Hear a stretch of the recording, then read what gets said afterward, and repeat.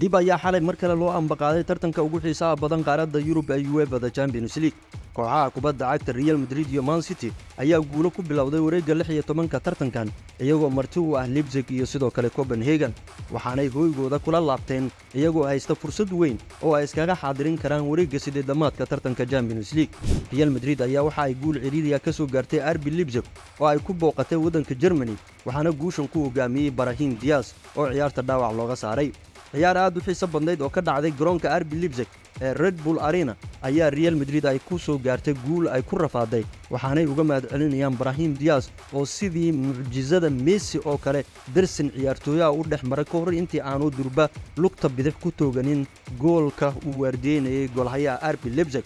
arbi libsig ayaa nasiib darro ku dhacday oo qaybtii hore laga diiday gool uu u dhaliyey benjamin sasko kadib markii lagu tilmaamay in ay garab dhaaf ama offside tahay. Arbi libsig ayaa dhinaceeda samaysay fursado badan oo ay goolal ku dhalin karaysay waxaana ay faraha caseeyeen goolahaya andre lunin oo ay u ahayd habeen weyn oo uu muujiyey inuu yahay goolhayo tayo sare. Dhanka kale man city ayaa saddex gool iyo gool ku soo garaacday kooxda f c copenhagen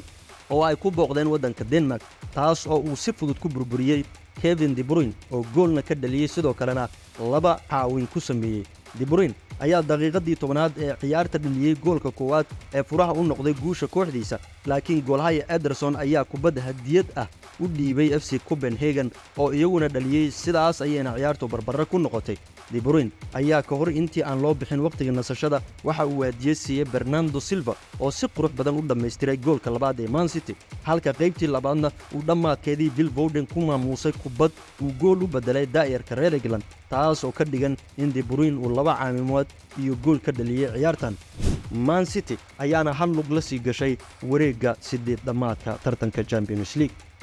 Wargelin waxaan idinku wargelinayaa in stream next t v janalka fambrog sports aad ka daawan karto dhammaan ciyaaraha caalamiga iyadoo lagu tabinayo af soomaali.